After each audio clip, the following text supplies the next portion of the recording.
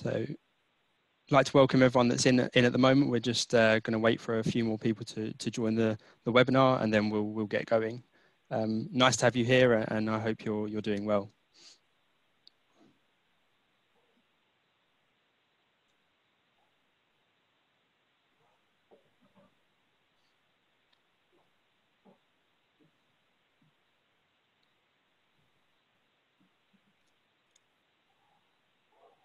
Okay, so there's about 200 of you in at the moment, um, so I'll, I'll, go ahead and start with the, the introduction to the webinar. Um, first and foremost, hello everyone and, and welcome to today's webinar, um, the Customer Service Leader of the Future, identify the strategies you need to stay ahead of the game. I'd like to first say that I hope everyone's in good health um, and to extend a thank you to everyone of the over 1,300 of you joining us today, be that live or on demand later. We're really excited to have you all join our discussion today. While we wait for those of you who are still joining, I'll run through a brief introduction of, to our fantastic panelists and go over a few bits of housekeeping so that we can keep things running, running smoothly. Myself, I'm Scott Cormack, Global Event Director at Reuters Events. Some of you will have probably already had contact with me when troubleshooting in the run up to today. Um, we've got a great panel on our hands today with some superb customer experience leaders who are eager to dive into our discussion. So I'll waste no time in introducing. First up on the panel today we have Nigel Henry, Director of Customer Experience at Pizza Hut. Nigel is a close friend of us here at Reuters Events, having featured as a speaker at our in-person events back when those were a thing. Um, Nigel has some really interesting insights to share regarding the way that Pizza Hut have updated and adapted to this new world that we find ourselves in. Next up is Mike Kuenne, Chief Customer Experience Officer at Extended Stay America. We're really excited to introduce Mike to our community in his first collaboration with us here at Reuters Events. Mike is bringing to the table some truly fascinating insights about how he has had to navigate the period of great upheaval the travel industry is going through at the moment, and how Extended Stay America are empowering their agents to provide top class customer experience. Rounding out today's panel, we have Mike McCarron, VP of Customers at today's sponsors, Gladly. Gladly's mission is to provide radically personal customer service at scale. They offer a fantastic platform that boasts the ability to increase contact center generated value by an average of 10% increase service member efficiency by 20% and save you an annual average of 40% on consolidating your tech. Finally, I'd like to welcome back someone who many of you will know by now. Recently home from a stint in the Air Force, we're grateful to have our ever-present moderator back, Nicholas Zeisler. Nicholas is the principal of Zeisler Consulting and a former director of CX at HP, and we're excited to have him back steering the direction of today's webinar. Before I kick things off, I'd just like to highlight some quick pieces of housekeeping um, as some of you who have attended our previous webinars may have noticed, we've now switched over to the Zoom platform.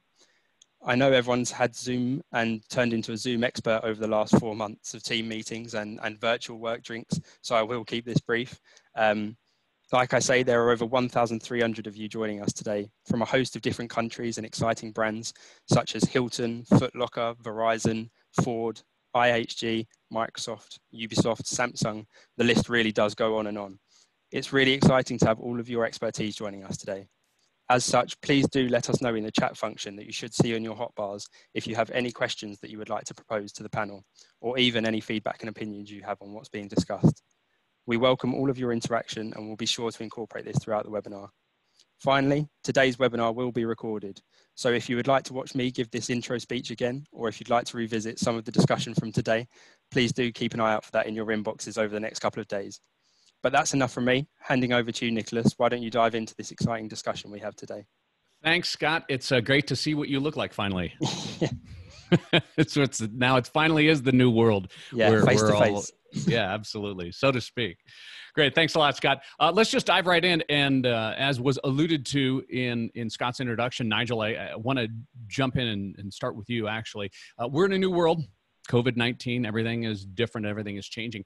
Would you share with us a little bit about what's new for your industry, which is to say restaurants and, uh, and, and the food industry?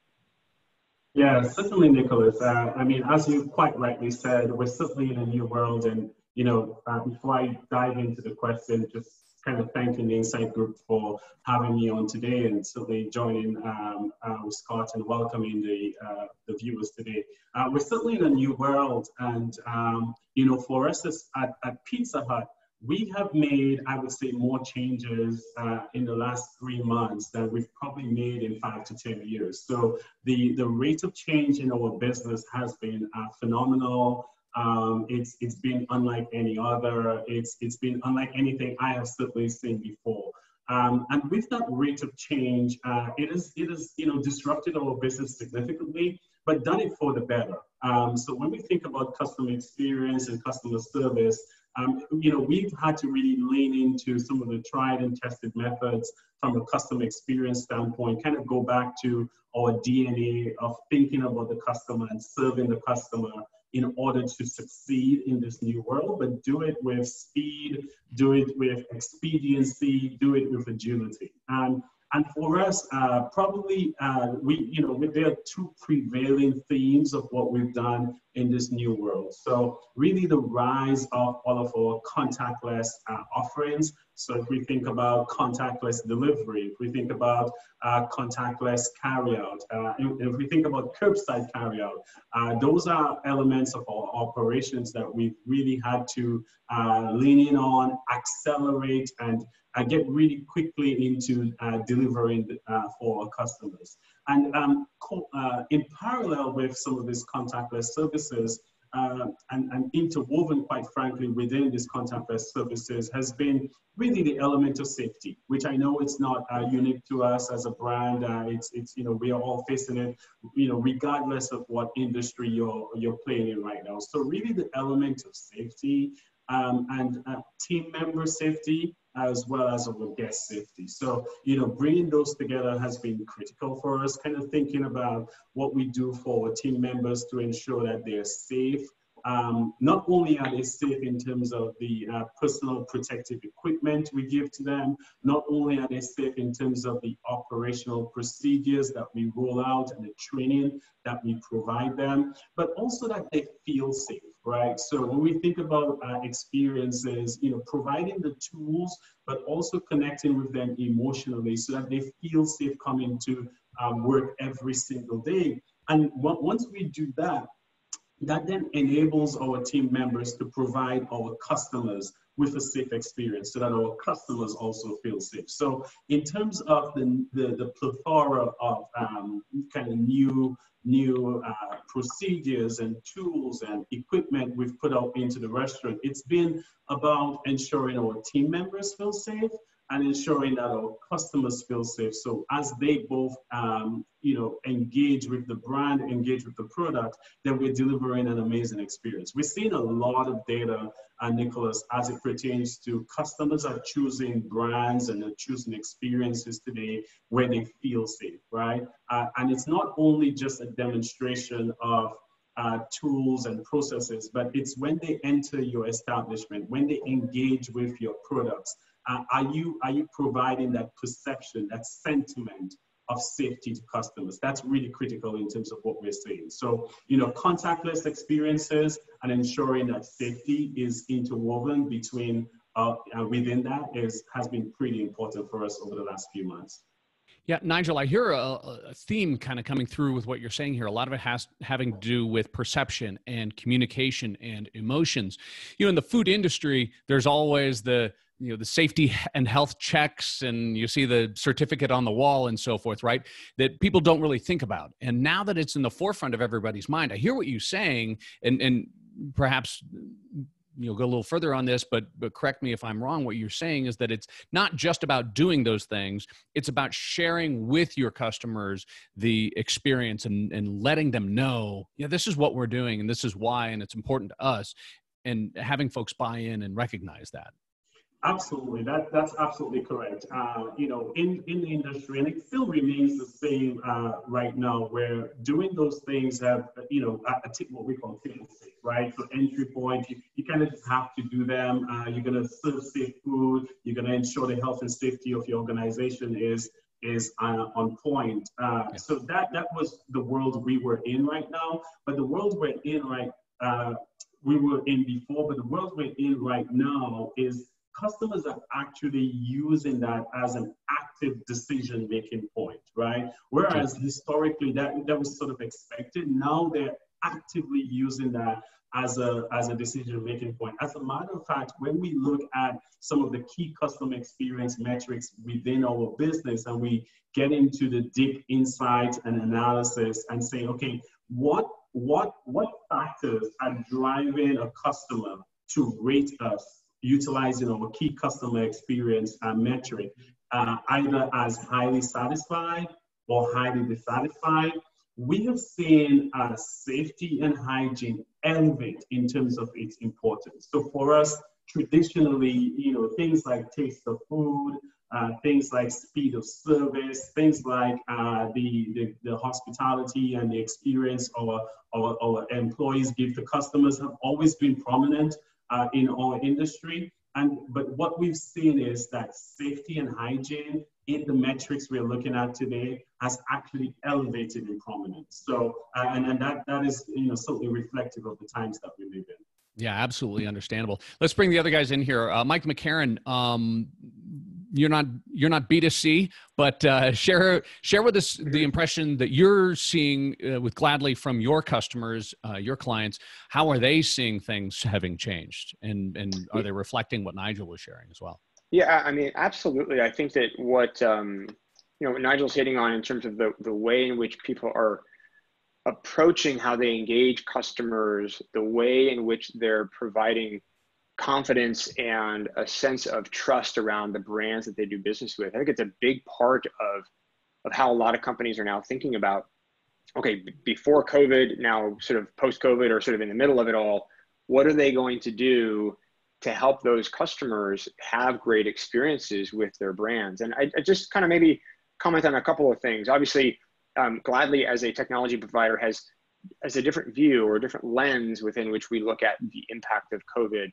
But some of the things that I think are really important, and this is my guess is is going to be consistent and a um, a theme that many who are on this attending webinar are going to experience is that many folks who used to have the primary experience between a consumer and the brand be an in-store or an in-restaurant experience that that experience may actually go away or be very different right? You know contactless contactless pickup curbside check-in all those things the, the importance of connecting with customers over digital or communication channels to replace the gap that is no longer available with the in-store or the in you know um, you know property experience is a huge factor in how many people are thinking about how do i continue to build trust and how do i continue to build relationships with the customers when the primary way that i used to engage those customers has been disrupted by covid. So i think that's one big thing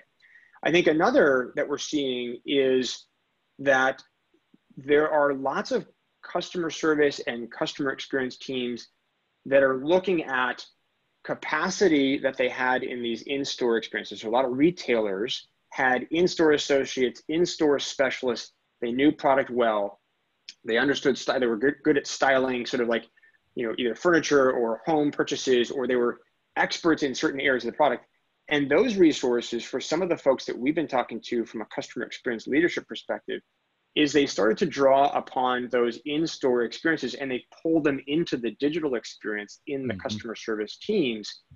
So what it does is it does two things. One is it gets some of those folks back to work, right? Which is like they're they're, they're furloughed or out of work or their stores were closed. Getting them back to work is actually a really positive thing. And then secondly, what it does is it allows for the commerce and or the, the retail experience to continue to happen, but it just happens in a different way, right? So that's another area. And then the third is you have this notion of customer service teams are traditionally centralized in a certain office. They're all in one place. They all have activity and they all have able to sort of like work with each other within an office space. Now everybody's working from home. How do you optimize that experience? How do you create collaboration in that experience? So I think the ways in which teams are now starting to work is very different in that you can't walk down the hall and get your question asked and answered, or you can't sort of turn around to your manager or supervisor to get some assistance on something you have to be really good at a distributed workforce model. And you also have to ensure that the technology and infrastructure that you have in place supports that remote work experience as well. Mm-hmm. So lots more to share on that one. But I just think yeah. giving people the ability to sort of shift and change and adapt to what is now this new reality is a really important thing. Yeah. Yeah, I agree. Let's speaking of shifting, let's shift to another industry altogether, and uh, well, not altogether because it's similar in the sense that Mike Kuenne with uh, with Extended Stay America. In your industry, in the hospitality industry, you've under, undergone tremendous changes, and not even so much that are easy probably to adjust to because it's an in-person experience explicitly and and definitively because people are coming to stay at your place. So uh, mike tell us a bit specifically about your business model at extended stay america which is different from the typical hotel stay and how it's adjusting to that result. Yeah sure. No i appreciate it. Thanks for uh, thanks for having me today as well. Yeah you know extended stay america we are different right? So if you take a look at you know, the typical hospitality industry. And I know that we have, uh, you know, uh, some of my peers on here. I think you mentioned, you know, IHG and Hilton. Those hotels tend to be a little bit more more transient. Um, our hotel, just by the nature of what we do, and obviously part of our name, is we cater to a slightly different audience. So while we do have some transient guests who might stay with us for one night or two nights, um, we have a lot of guests who might stay with us for seven or 30. We've had some guests in house for eight to 10 years, right? So that's on one extreme of the extreme. But because of that, um, our product is a little bit different. We have full kitchens in all of our, um, you know, in all of our hotels. We don't have, you know, restaurants. We have a limited breakfast service. So some of the amenities that we offer are a little bit different, um, which with what we're going through right now, in some ways has served us a little bit better because a lot of the people who we cater to are those essential workers. They're the folks who um, might not necessarily have that discretionary uh, business travel, but are traveling because they need to. They might be, you know, traveling nurse or part of, uh, you know, construction or any of those industries that, that still need to have that day to day. You know, that said, we, you know, we still need to focus on, on, you know, what guests care about most. And Nigel, you know, you mentioned safety, right? And I think of the food and safety for the hotel industry. Um, I'd say it's cleanliness, right? Of course, we need to have a you know a safe place, but what everybody cares about, whether it's you know before the pandemic or even currently, is what are we doing to make sure our hotels are clean um, and safe. And when you think about that, I, I think it was is Nigel who, who, who said it. It's not just something that um, you need to do. You need to communicate that you're doing it, and that's been one of the the biggest shifts I think for us is something that we wouldn't necessarily think that we would have to communicate because it would just be understood in the past, right? Your hotel should be clean. But if you look, you know, across any of the brand messaging um, that you know we have, or even other other hoteliers have, um, whether it's an airline or a car rental, um, it's it's focused on clean, even to the extent that um, you know some are going to um, seal a door to indicate, hey, this room, you know, has has been sealed.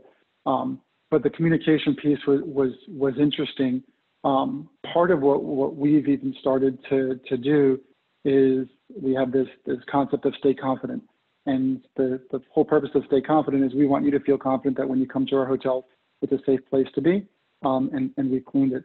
Um, so when we think about that communication, um, yes, that's been external, but we even have it um, internal. This probably won't come up. I just that's the benefit of having stuff on my desk, but this is something that we put, I know it's probably not going to work super well with the, with the screen there, but that goes in all the corners of our, um, in our, in our, uh, in our, in our bathrooms.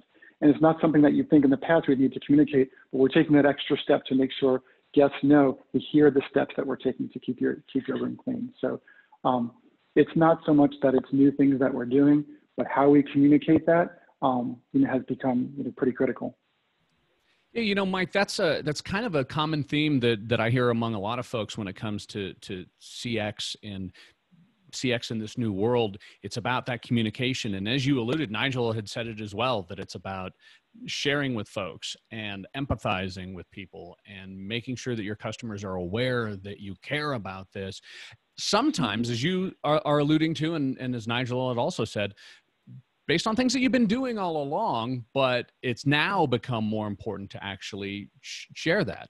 Uh, I got a couple more questions, but we're getting some in here uh, from from participants and, and folks who are attending. So please everybody continue to do that. I'm gonna I'm gonna shift what we were going to do because I want to go back to Nigel. This is an interesting question that comes in from Lulu. It says, "How do you ensure customers still feel a personal touch now with contactless services?" And then another question uh, here coming in from Tanya: How are you replacing or making up for the restaurant dining experience when your business has become contactless? So Nigel, um, talk to you about this. And then I think maybe Mike Kuenne will ping on you a little bit as well, because obviously that contactless thing isn't not happening. But I know that you're changing some of the things about how you do stuff, uh, in addition to the the enhanced communication. So I want to come back to you too, and then sure. come back to to Mike McCarron with another uh, another question as well. But let's go ahead, uh, Nigel. Let us. What are your thoughts on that? Yeah, I mean, it's a, it's a great question. And I would say it's one that we are still in some ways wrestling with because this is this is such a, a kind of quickly evolving uh, space, right? Um, you know, we, we've had to transition and mobilize so quickly, one, just to keep our doors open and keep serving customers that, you know, kind of leaning in and um, adding what I would call some of the icing on the cake as, you know, as, you know, the question uh, speaks to this idea of ensuring a personal touch even through the kind of rudimentary elements of a contactless service. So we've just been, uh, I would say a couple things. We've been training our teams uh, even through that contactless service um, where you know there is there is still an opportunity for communication. So with our contactless delivery, as an example, you know the driver has to go to the door and the driver has to uh, deliver the pizza on a on the stand. Uh, so kind of ringing the doorbell and stepping away, but kind of waiting for that customer to kind of come out, uh, take their product, a smile, a wave, and kind of ensuring that there's still a human connection in that transaction where the driver doesn't just kind of walk away uh, from the from the tra transaction, albeit all you know, you know, completely, but ensuring a human connection. You know, you think about contactless curbside.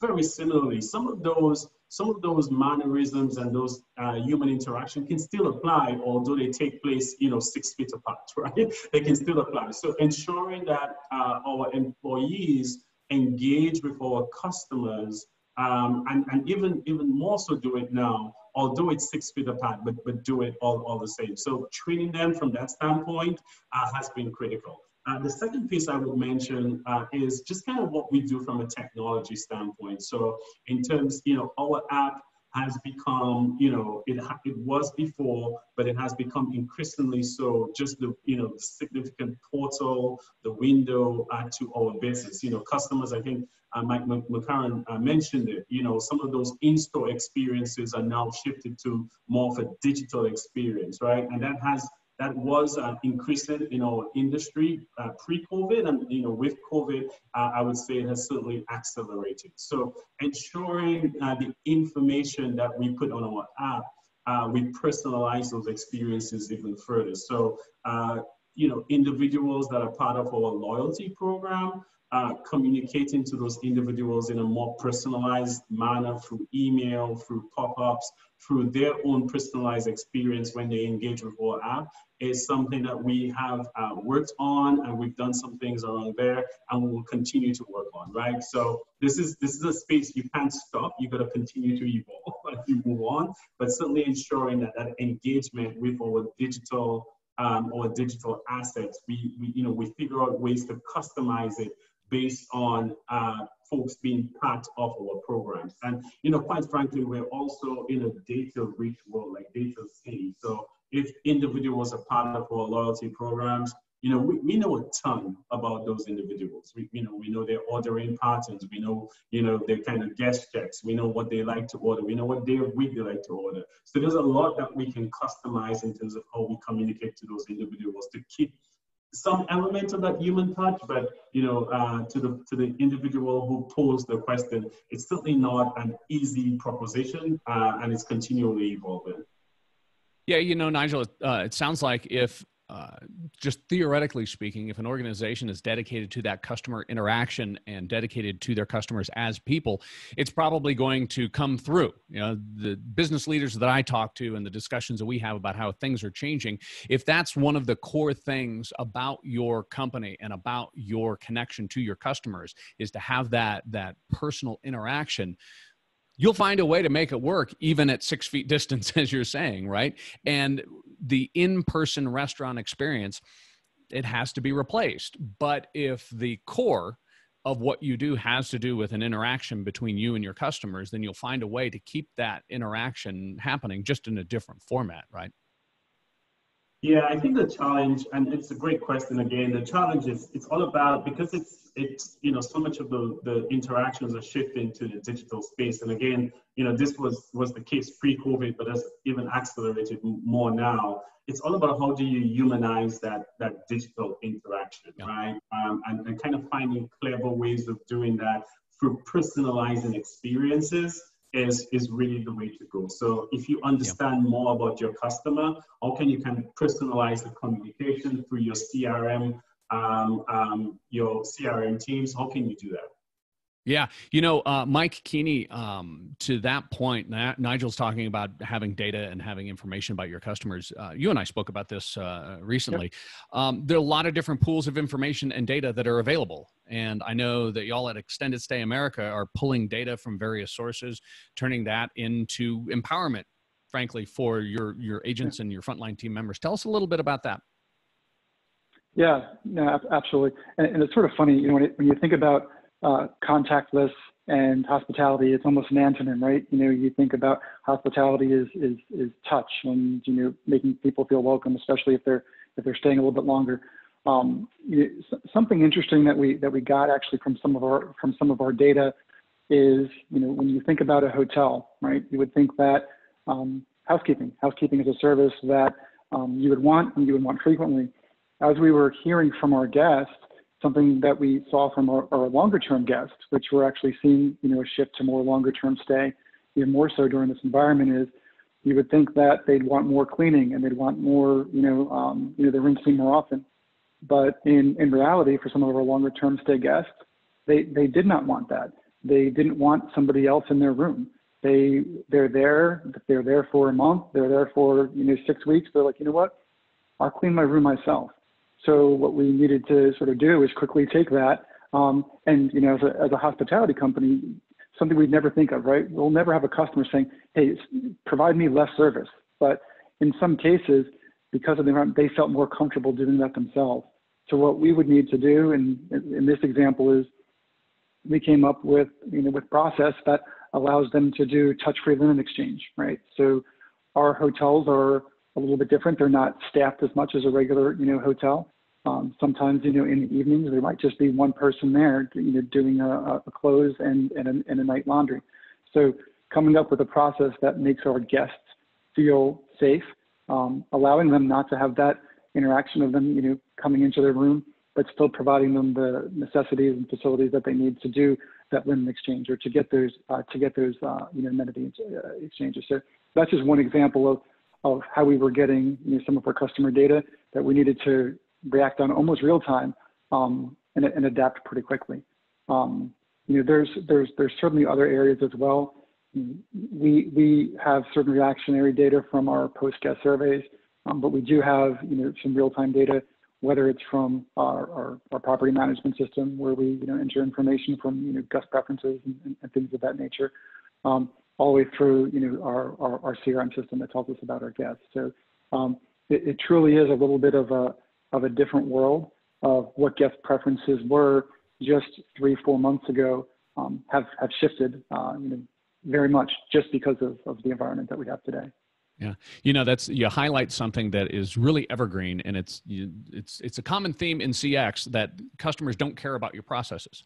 and to the example that you're using, if I tell one person at Extended Stay America something, I expect that to go into the ecosystem, and everybody knows that I don't want anybody in my room, and I'll clean it myself, or I just want this contactless linen exchange and so forth. And it's amazing that the world can end and yet mm-hmm. people still feel that same way and it's mm-hmm. those flexible and dynamic organizations that are dedicated to their customers and to these core principles about what customers want they're going to survive and thrive in an instance like this so that's a great example and i know that mike mccarron wants to talk about the uh, the, the, passing of information and how you approach that but mike i'm going to ask you to hold off because we yeah. will get to that question no but i wanted All to good. get to make sure that before we get too far into this um, we, we circle back to the topic as, uh, at hand as well. The title of the today's webinar, and it's the customer service leaders of the future. So I want to kind of go around. I'll start with you, Mike McCarron, and, and give us your thoughts. What, simply put, in your opinion, does the mm-hmm. customer service leader of the future look like? Great. I think it's a, I think it's a great question. I think it's a great topic. So I'm really excited to be part of this conversation and talking about that. And, and thanks to Nigel and Mike also for being a part of this.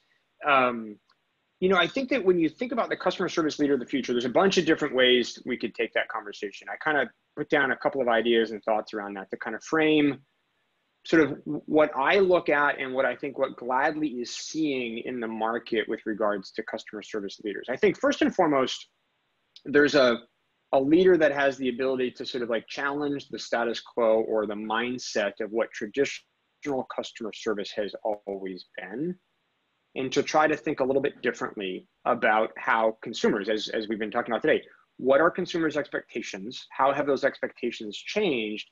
And how are organizations thinking about those expectations and then evolving and changing to be able to meet those? So i think that first and foremost it's looking at things differently. I think it's looking at, you know, how can you be more customer centered, put yourselves in the shoes of the customer or in the journey of that customer and identify all the places that the customer can fall over or have a sort of a not so great experience and to get those experiences taken care of and, and to smooth those out and to make sure you have great experiences there.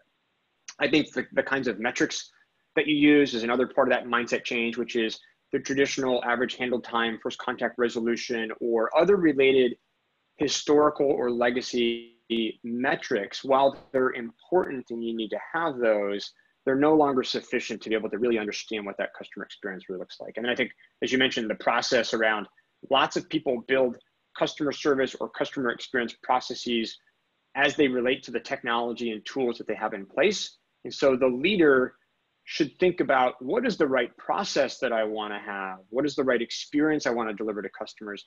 And then leverage the technology or find the technology that supports that as opposed to saying, technology works this way, so I'm going to go ahead and do that. So that's first thing, first mindset change. Secondly, I think there's a huge focus on, and I think we've started to hear this a little bit here, cross-functional um, involvement or cross-functional participation, which is customer service should not be the sole responsibility of the person with the CX title in their job, in their role. They need to be able to leverage the marketing team, the, su the supply chain team, the infrastructure team. They need to be cross functional leaders to help build really strong business case or um, use cases for why improvements in the website design drives a better customer experience. How improvements in the online check-in, check-in or checkout process improves the customer experience.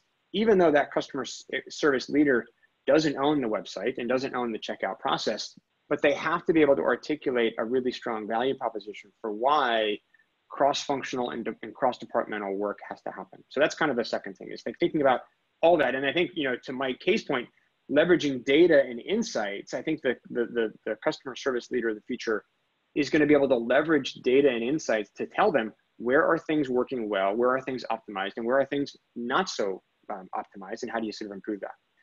I think a, a third area is around many customer service leaders or many customer service teams traditionally have been viewed by the organization as cost centers, which is they're there to help solve problems. They're, they're there to sort of be uh, focusing on issue resolution not issue prevention. So I think the customer service leader of the future is really thinking about how do I get in front of the customer's experiences or customers' issues and solve those before they actually happen. So thinking about that, I also think about the resources that are in customer service, especially in hospitality, travel, and retail commerce, is that in this new world of people maybe not leveraging the in-store experience as much, sales and revenue is going to be a huge driver for how do organizations weather this storm. And customer service leaders that come from more of a sales background or more of a store background might actually have some interesting skills to bring to the table because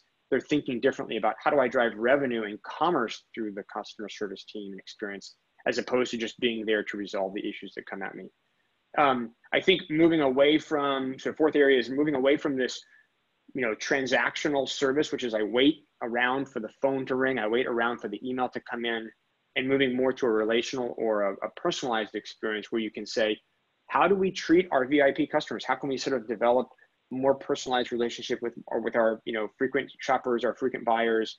Certainly, I would imagine for Mike K at, at Extended Stay, those high value customers that have long extended stays. How do you find ways to really engage with them and drive more of a personalized relationship with them? And I think the last thing is, is I would say is that customer service leaders of the future, I think look at or need to look at the staffing and the, the resources that they bring onto their teams and look at ways in which they can create teams that are highly functional um, with generalist skills versus very specialized skills. I think that the flexibility of what are the issues of the day, what are the challenges of the day are going to are to be so different from from week to week and month to month that you need to have really strong sort of like utility players, if you will, on the team that have the ability to do re- issue resolution, to solve problems for customers, to be thinking proactively about what to get in front of, as opposed to being the person who can read the call script or can read the issue resolution script. I'm not saying that there's a lot of people out there doing that today, but I think the more sort of like forward looking thought leaders in customer service and customer experience are thinking about what does my team look like? What does the dynamic or the makeup of the team look like? And what are the skill sets that I'm going to be hiring for today that might be a little bit different than it was, you know, you know, five years ago. Whereas I'm not just hiring someone to answer phones. I've got phones and chat and messaging and social and email. And frankly, I want all of those individuals to be able to shift back and forth across those channels pretty seamlessly. So those are sort of five big areas that I look at. There's probably five more or 10 more on top of that, but that's kind of an initial thought on what that leader looks like and how they're going to be effective and successful in the future. Yeah, sounds like you came prepared with your homework done, Mike. That's uh, that's certainly a comprehensive. But what what I like about that, first of all, is it sounds you've been reading my blog, so fantastic. Thanks a lot for hitting on because mm-hmm. I, I think it's what you're saying is there's a holistic perspective to it. I mean, among other things in there, but that's something that really stood out to me is that, you know, CX is more than CS. CX is more than a contact center. CX is, you know, Jeanne Bliss likes to say that it's, it's the human duct tape. It ties all the mm-hmm. silos together and helps provide that strategic direction for an entire organization. I'd like to bring the other guys into this conversation as well. Nigel, what are your thoughts about what what you'll what you're seeing as the future of the CS leader? So a couple things. I want to I want to piggyback um, on something uh, Mike McCarron just said here, which which I'm incredibly passionate about in, in, in certainly in our business, which is this idea of being slightly more cross-functional in terms of your approach. So you know what we've seen in our business is we you know, and this has come out of uh, this has been birthed out of necessity, which is in order to just survive the pandemic, you know, keep our stores open, uh, keep our operations going. Uh, you know, we we have been able to leverage our crisis themes in order to drive that work forward as necessitated by the pandemic, right? But what that has given us an opportunity to do is, um, by nature of those themes, is be a lot more cross-functional in terms of our approach and break down those silos. So for the customer service leader of the future, um, I, I, think you know you have to take advantage of the time and the temperature in your business right now in terms of your business being and I, I, can imagine it's the same for most businesses. You know if you have if you're operating a business right now and you're operating it in silos you're going to have uh, tremendous difficulties doing that in today's world right? The left hand has to know what the right hand is doing in order to ensure the customer um, is being serviced properly. So taking advantage of the moment right now as a, as a customer service leader of the future and ensuring that you know is brought to the table and the voice of the customer is brought to the table, and you have a cross-functional team thinking about how you address those pain points in the journey. I mean, the moment is now to do it, and and I, I think doing that is is very important for the customer service uh, leader of the future. The couple Nigel, of things I'll yeah. go ahead. No, go ahead. I was I was just gonna Amen chorus over here. Go ahead. Go ahead. a couple of things I would, I, would, I, would, mention here, which is a little bit more tricky to do, but I would say you know, trying to anticipate the future but staying nimble in the present is, is pretty important, I think, for, for the for the uh, customer service leader. So, what I mean by that is, you know, we're just in such a dynamic space in terms of our world today. So, what practices have we brought in that are going to be short term versus medium term versus long term, right? Trying to anticipate that and ensuring that we put practices, systems, tools, and processes in place in order to support that is, is pretty important. Uh, you know, some of the things we brought in uh, in terms of this time and space, they may not stay long term, right? They may be uh, short term based on the environment uh, that we're in. You know, we get a vaccine, some of those things might go away. Um, but I, I, do believe that the baseline has been reset, uh, definitely. So probably the majority of things will stay in some form or format and trying to anticipate which ones of those will remain into the future is, is very, very important while being nimble in the present, right? Because, you know, every day we turn on the news, um, every week things change. So being very nimble in the present uh, is, I think, a pretty important quality to have as well. So that we can then enable our customer service teams, our employees um, uh, to, to support the experiences of our guests.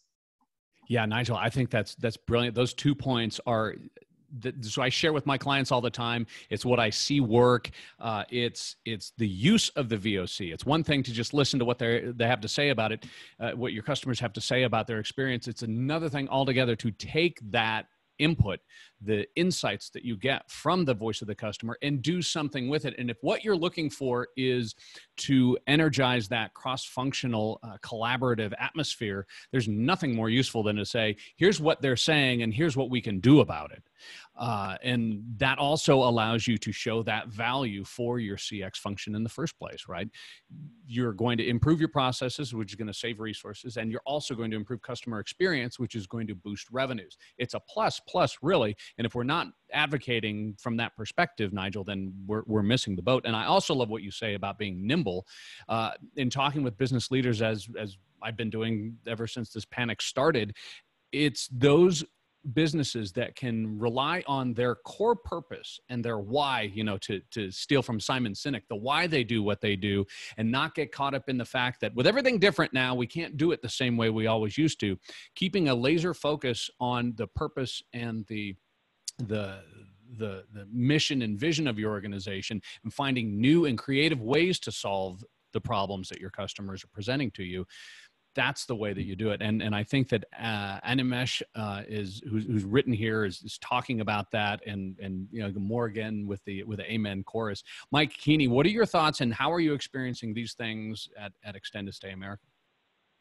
Yeah, yeah, absolutely. I think it's just all about um, enabling people to enabling people to act, and it's always been important to listen, but it's probably ever more so important to listen, you know, than we ever have before. And obviously there's tons of ways to do that with data. Some other ways that we're doing that, and it's a little bit more of a, of a, of a, of a human approach, is we all have data from our contact centers, right?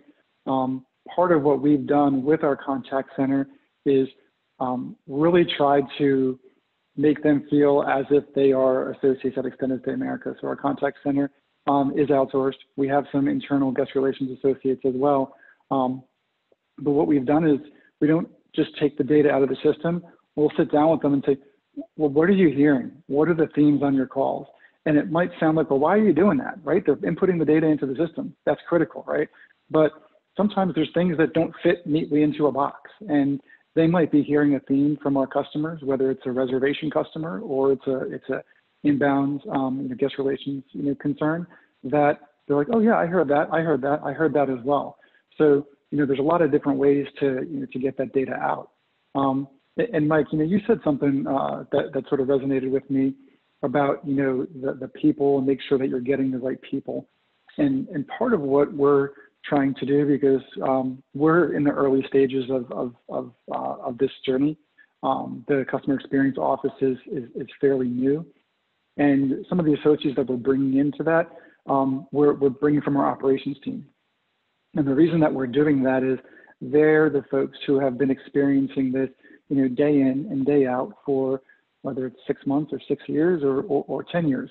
And what we're finding is when we're, we're integrating them and blending them in together with some of the folks who have been doing customer experience for a long time, you're getting um, a, a, very different voice. And, and, maybe I shouldn't say a different voice because it, it's not like they're at odds with each other, but it's, it's a perspective from someone who's been face to face actually with that customer, you know, for years. So it's uh it's it, has been a lot of fun, and uh, you know we break some eggs along the along the road of um, trying to try new ways of doing things. Um, but but again, it's been pretty enlightening, um, you know, to do that. But it, it, to me, it's really about listening to your people, taking a look at the data, and not doing either one of those silos and meshing them together. And that's where I think you go from information truly from there into insights. Yeah, absolutely, Mike. And I think this this tees us up to to talk a little bit uh, with with Mike McCarron about Gladly because I think this sharing of information and this stitching together and sewing together all the different, not just the bits of information, but bringing the entire organization uh, as a team together in the end of customer experience. That's really what y'all are about there at Gladly, right? And uh, you're developing and disrupting, uh, Mike Kuenne, to your point, disrupting the way of looking at how customer support and customer service works moving more towards a customer centric uh, or uh, towards customer centric rather rather than just incidents and tickets and so forth tell us a bit uh, mike McCarron, about how gladly is enabling your your customers to do that yeah, absolutely. It, I think that um, if you think about it, Nigel was bringing up a really good point, which is the ability to remain, you know, nimble and focused on both, you know, anticipating the future, but also being nimble in the present. I think one of the, that's probably one of the underlying sort of reasons or catalysts for why Gladly got going. So Gladly is about a five, six year old company. And five, six years ago, when the when the early founders were looking at the customer service experience, they realized that a lot of the technology, a lot of the infrastructure, a lot of the, the, the, providers that were out there had been around for 15 or 20 years. They were well established, but those technology platforms were built before the days of the iPhone, before the days of social media, before the days of the fact that every consumer has on their device phone, email, messaging, chat, and social as channels that they can use. And the ways in which they engage in those channels changes depending upon the situation that they're in. So if they're at home, web chat might be a really good experience. But if they're on the road, text messaging or social media might be better. Or if they're booking a, a big, long, extended stay vacation or whatever, then maybe they want to get on the phone and actually have that conversation. So Gladly started five years ago and said, there's got to be a better way because all the legacy technology that exists out there fragments the customer's experience from emails to chats and chats to messaging, messaging to phone and that's not the experience that consumers expect because they have vastly outpaced the mm-hmm. ability for a lot of companies to keep up with the communication channels that they're using. So Gladly B2C focused customer service platform. And again, it's about how do you bring information about who this customer is or who this guest is, what's their purchase history, what's their what are their buying behaviors, what is their lifetime value to the organization, presenting that information directly to the agents in a, in a view that pulls from all these really rich and relevant backend systems, along with the fact that you have phone calls and emails, messaging and chat dialogue happening in a very messaging oriented sort of timeline. It allows for the customer to be known. It allows for the agent to drive um, a personalized experience because they know, they know exactly who this person is and they know how long they've stayed at extended stay or how long, how many pizzas they've ordered from Pizza Hut, or how many products they've purchased. And it drives this amazing efficiency because the agents are no longer chasing down tickets, chasing down cases to try to figure this stuff out. So the idea is that we wanted to start a company and start a start a, a, an organization that allowed for these innovative business to consumer brands who wanted to evolve and wanted to change and wanted to drive a better more seamless customer experience. But what many people found was that there wasn't really a good alternative solution to a lot of the legacy case and ticket based systems that existed in the past. And so they were forced to kind of put a, a round peg into an oval hole where it kind of looks like it should fit, but it doesn't. And then the frustration is you have to sort of make up for all these inefficiencies or these deficiencies And we thought in the modern day and age where consumers are driving expectations, let's match those expectations with a technology product that is innovative, is thought leading, and is um, able to allow for organizations to move quickly to really drive better experiences across all the channels that they have. So that's kind of the Gladly story. And we're finding that brands that are moving to Gladly, it's a be- it's a far better agent experience because they have all the information and all the communication history in front of them. It's a far better experience for the consumer or the guest because they don't have to tell their story over and over again if they move from an email to a, a, a chat session or a chat session to a phone call because all those channels are natively built there. And in the process, loyalty is up, revenue is up. People want to do business with companies that make it easier for them to do business with them. It's kind of a magic win across the board for everybody involved. Yeah, you know, and uh, you're speaking again to to something we discussed earlier about how customers don't care about your processes and they expect that seamless experience. And we used to talk about channel switching and, and and efficiencies in there and it doesn't even matter anymore i'm thinking actually to a to a webinar that we had about a month or so ago and erin sheehan from the san diego padres was on and she was talking about tying the experience that customers have when they buy season tickets in with the experience that they have when they go to watch the game and it's mm-hmm. organizations that can seamlessly tie those data sources in the background, right? In mm-hmm. with that experience so that everybody that's interacting with a customer can understand and see what's going on. Uh, nigel what are your thoughts on this? And how is it that in in the food industry that sort of thing you know i know when i when i log on i can see what my order history is. That's an example of this right? But what else is going on now? And are you seeing anything new happening yeah, I think it's certainly challenging, um, and you know, according, you know, to Mike McCarron's point, it's it's definitely a need, and I think you know, different companies are on different stages of that journey. I think most companies now, most leaders now recognize the need for doing so, bringing bringing all that data together and all the customer information in one one space. So you know, individuals have access to it and therefore we can service the customer better. I think part of the challenge has been, you know, in terms of the concept of what you need to do, I, I think most people are clear on that. The question is, how do you get there? Right? Um, how do you bring uh, those systems together in a quick and efficient way that makes sense for everyone, a cost-effective way? How do you get to that point? And that has been the challenge. You know, what what pathway to go down? Um, what you know, what road uh, to travel, uh, so to speak, as it pertains to to get in there. And, and you know, we're certainly trying to get there more and more. Um, you know, we've introduced a fairly new customer experience platform where we're bringing in more data um, on the customer than we've probably ever done before and providing uh, that data to our, our contact center so that once a customer calls, they can kind of understand the history of the customer a lot easier to, to service the customer. So, you know, it's, it's a work in progress. Uh, we're not all the way to bright yet, certainly, uh, but, but, you know, uh, going along that direction and trying to get there is certainly um, the, you know, the utopic world we're trying to get to. Yeah, I'm sure Mike McCarron would be the first to say, "Well, you've got the right guy on the phone right now to talk about how you make it happen, right, Mike?" But before we get to your pitch, though, Mike Kuenne, tell us about that. I mean, we already talked a little bit about how Extended Stay America is using the data sources to to enable you know various team members who do different things to make that experience spectacular for your guests. Tell us a little bit more about what what you have to say on this topic here.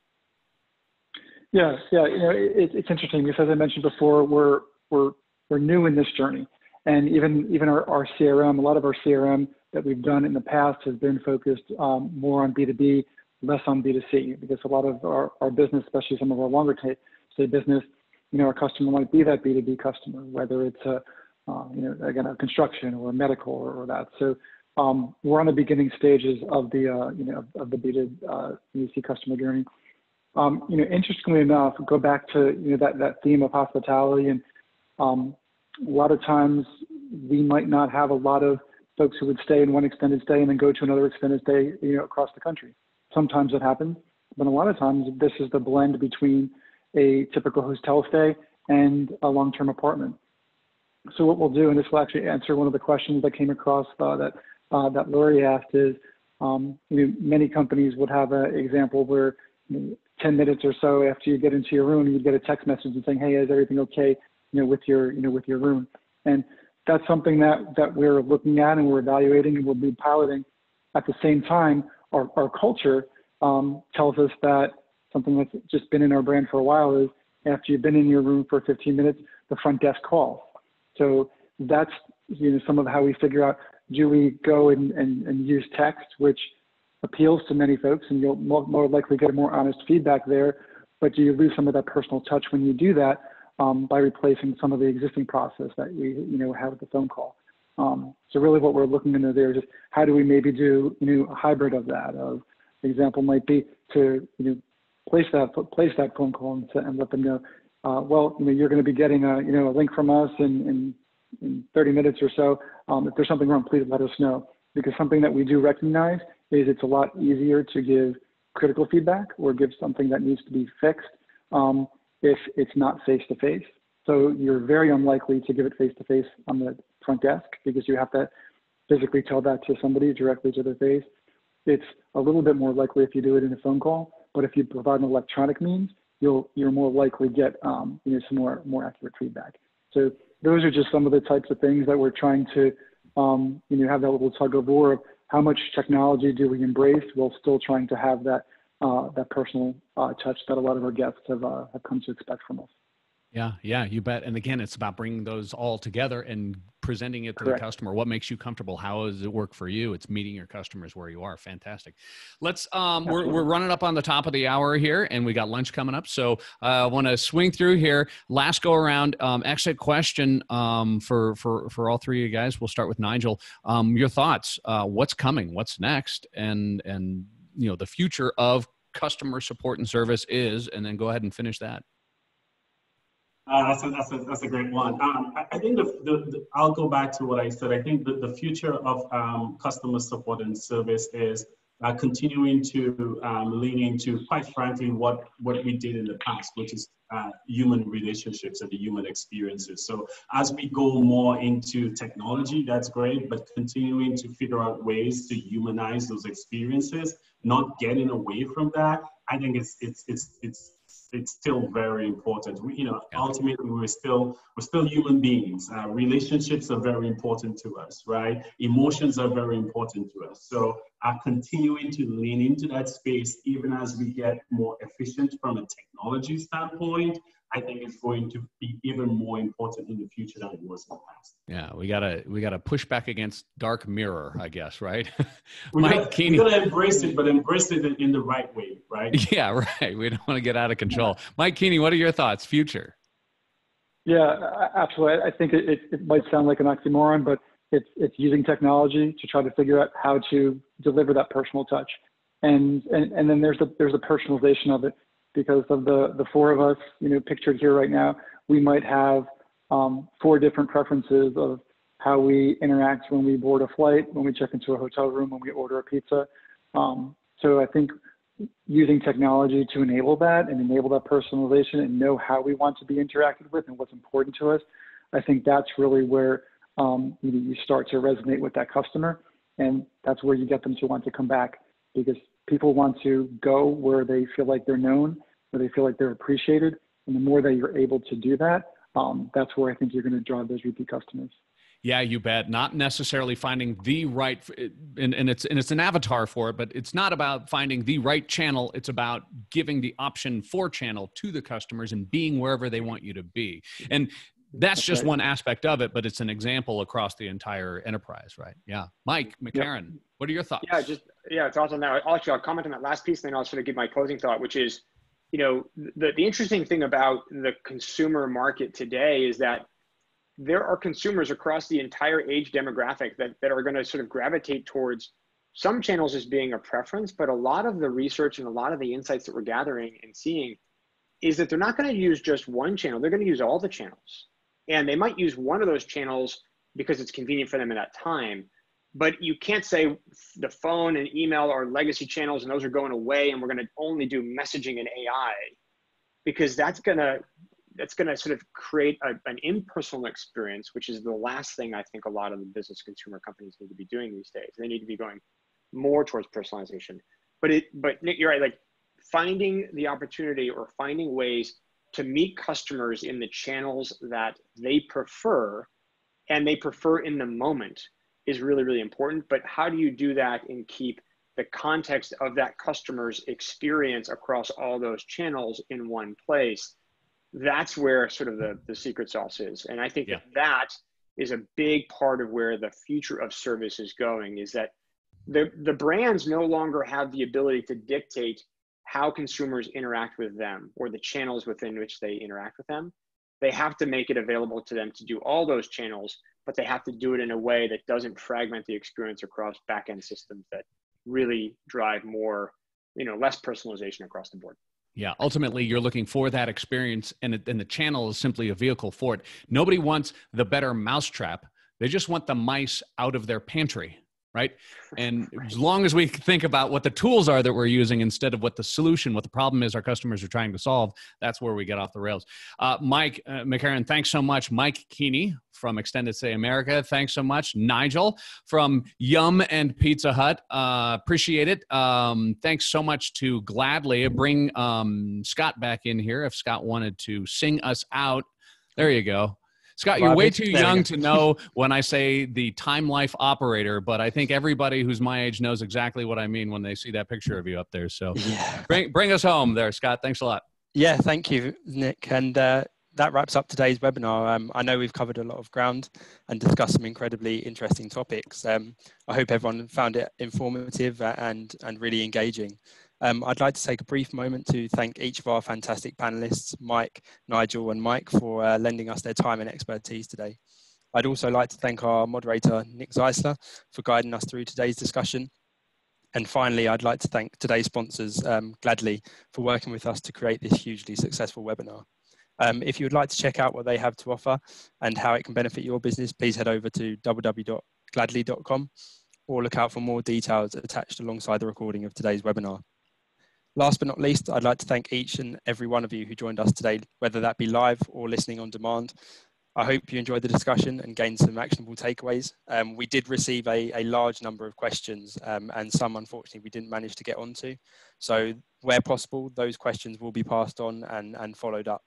Um, but yeah, thank you all from all of us at Reuters Events and uh, we hope to welcome you back soon and have a great rest of your day.